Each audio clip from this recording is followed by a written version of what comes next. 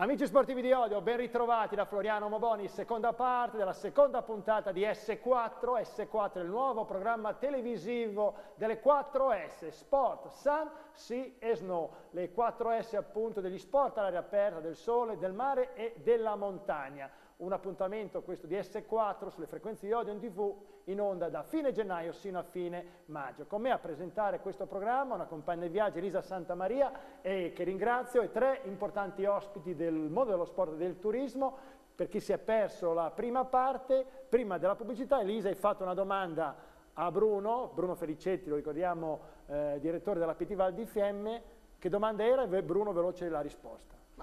Guarda, eh, chiudevamo eh, con questa domanda. L'anno prossimo, quarantesimo anniversario della Marcia Longa, cosa dobbiamo aspettarci?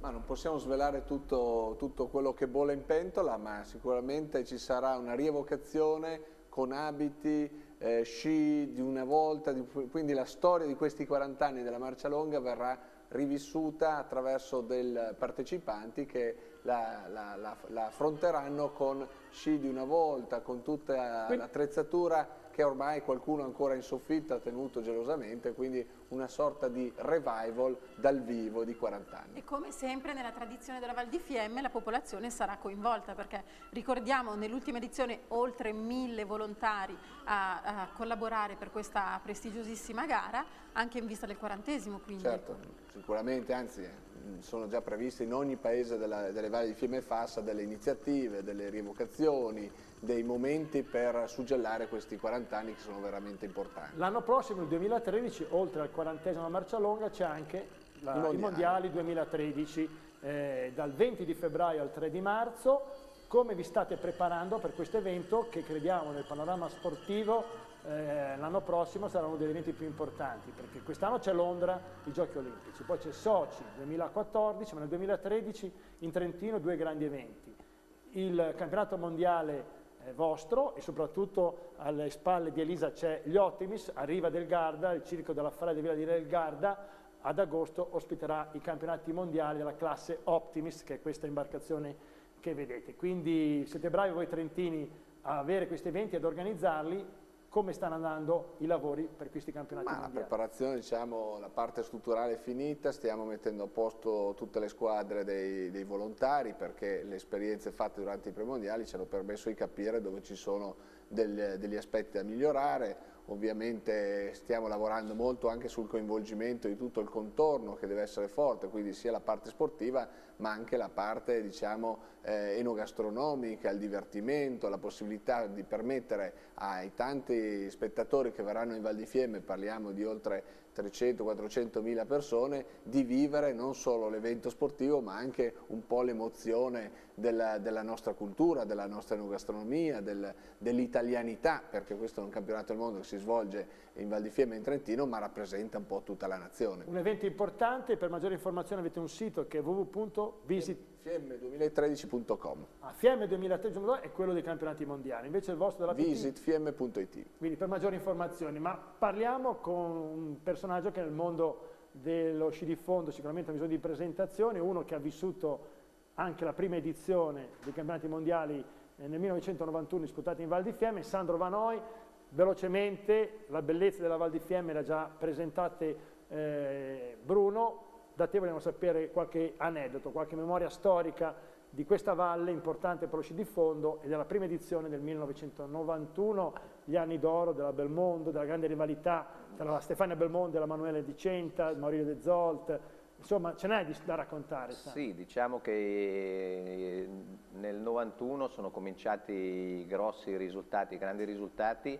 e soprattutto hanno avuto la continuità perché abbiamo iniziato a fare risultati importanti, quindi a essere sul podio nel 1987 a Sefel con i primi mondiali, dopodiché eh, pian piano eh, le squadre sia maschili che femminili sono cresciute moltissimo e dal 91 in avanti c'è stato questo diciamo, dualismo tra due regine de dello sci che erano Belmondo e Vicenta con caratteri completamente diversi che si sono date battaglia su tutte le piste del mondo. Eh, quando correvano loro c'era un, un, numero esagerato di giornalisti, ma non per vedere e analizzare l'aspetto tecnico, ma solamente per, eh, per esaltare questo, questo, dualismo che effettivamente se, se andiamo a vedere proprio eh, all'interno del loro animo non c'era questo grandissimo eh, dualismo. Chiaramente uno sport individuale, eh, vinco io e perdi tu, ma più che altro erano i team eh, della Dicenta e della Belmondo che si contrastavano per i risultati che facevano. Questo in campo femminile? In campo femminile. In campo maschile? In campo maschile eh, non c'era questa grande divisione perché c'era ancora Albarello, Vanzetta, Val di Fiemme, eh, De Zolt che erano tre atleti eh, molto difficili da gestire che eh, grazie ai risultati delle donne sono cresciuti anche loro perché soffrivano i primi anni, i primi tempi soffrivano un po' eh, nel vedere che queste donne vincevano più di loro e quindi è stato uno stimolo per vincere ancora di più. Soprattutto eh, direi che eh, Maurilio De Zolt è quello che ne ha beneficiato maggiormente perché sentiva questa rivalità con le ragazze e con le donne che ha portato anche Maurilio a fare dei risultati strepitosi. Ecco, risultati strepitosi, la tua perla come CT, come commissario tecnico, però è Lillehammer 1994, quando la staffetta in casa dei norvegesi ha vinto l'oro in volata e tu dissi una frase che è rimasta nella storia dello sport. Quella di, di, di, lo so io, non lo sai tu, del Maracanã del Brasile. Vabbè, quello che è passato, cioè noi abbiamo sempre pensato che nello sport soprattutto i risultati che fai te li devi dimenticare, altrimenti eh, rimani ancorato a degli aspetti che sono negativi, perché non bisogna mai ripetere quello che hai fatto l'anno prima, bisogna sempre cambiare sia il tipo di allenamento che di mentalità perché se cominci a pensare di essere arrivato è la volta che sei finito. Infatti pensiamo al futuro, basta, basta, basta, basta ricordare, prepara, vediamo cosa fa noi adesso, prepara lo sci nautico perché basta, di storia non ne parliamo più. Dai, no, la storia è importante perché rimane, rimane scritta eh. negli annali, quindi direi che è stata... Il futuro si legge dalla storia. Certo, eh, quindi, no, sto scherzando Sandro. Però ti dico, que, que, quel, quel risultato lì è stato sicuramente per l'Italia il risultato più importante delle Olimpiadi di Albertville. Eh, ecco, vi posso ricordare che quando siamo stati... Lillehammer o Albertville?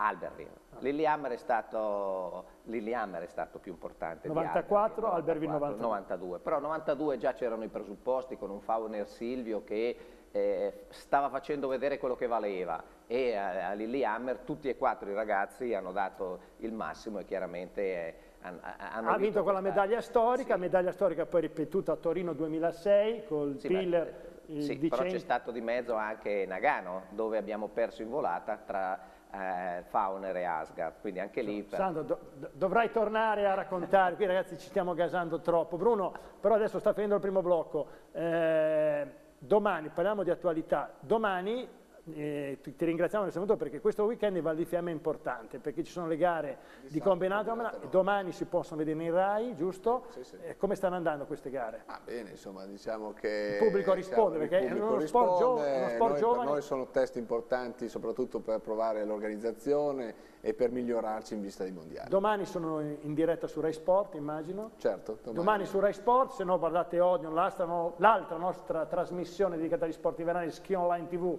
vi ricordo, lunedì alle 22.30 e il mercoledì alle 20, tutta dedicata al mondo degli sport invernali. E quindi Bruno... Ma noi siamo pronti, siamo pronti per, già per il febbraio del del 2013, ripeto, la cerimonia di apertura, questa grande cerimonia in piazza Trento, nella magnifica piazza Duomo, quindi ringrazio ecco, poi un, un, eh, la collega perché ci stanno dando una grande mano e un supporto non solo eh, così psicologico ma anche operativo mi piace, tecnico mi piace ricordare una cosa ehm, l'anno scorso in Italia erano i 150 anni di storia dell'unità d'Italia però una cosa che mi ha colpito che voi in Val di Fiemme L'anno scorso avete festeggiato i mille anni. Cosa 900 anni dalla magnifica comunità. E che cos'è questa storia che ho sentito? Spiegaci questa curiosità. Un ente riconosciuto nel 1111 dal principe vescovo Ghebardo, il quale attraverso un atto diede l'autonomia alla Valle di Fiemme. Quindi dal, 1111, da 900 anni, la nostra Valle Autonoma amministra da sempre i boschi, i fiumi e tutto quello che erano i proventi del, del territorio. Oggi magari il legno non è così importante come lo era 900 anni fa, tuttavia c'è un'industria legata alla filiera del legno che è molto importante. Artigianato. Artigianato, tutta la Poi avete un legno speciale che... Poi, i, i, il famoso abete rosso di risonanza che cresce quasi esclusivamente in Val di Fiemme a 1800 metri, col quale Stradivari faceva dei eh. fantastici violini, oggi un violino Stradivari costa qualche milione di euro, quindi siamo orgogliosi di dire che l'anima di questi strumenti è originaria della Val di Fiemme. Senti, adesso parliamo di agricoltura, noi che programma siamo Elisa? Ricordo, ma sai, noi spaziamo un po' dappertutto, Floriano, ci occupiamo un po' di tutto. Ora Poi quando abbiamo questi ospiti così piacevoli è eh, un no. invito a trattare tutti gli Ora però purtroppo c'è? La pubblicità, ci vediamo fra pochissimo. Nella, nella terza e ultima parte di S4, tra poco.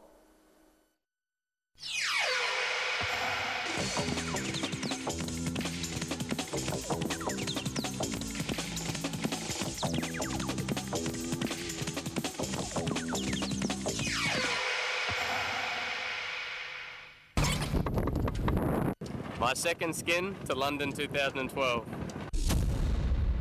Vetro rotto? Dr. Glass risolve.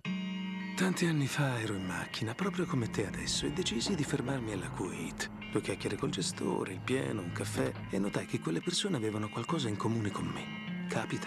Insomma, mi trovai così bene che continuai a fare il mio lavoro da qui. E oggi trasmetto da una stazione Kuwait. Cercami. Scusi, ma il DJ trasmette da qui? No, è tutto registrato. Ah, ok. Kuwait, il migliore amico di chi guida.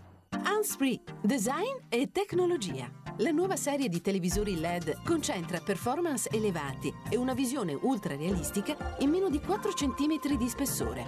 I televisori SV sono dotati di schermo panoramico LED retroilluminato e tecnologia green per un risparmio energetico del 50% disponibile nei formati da 19 a 42 pollici, ti porta un passo oltre l'HD.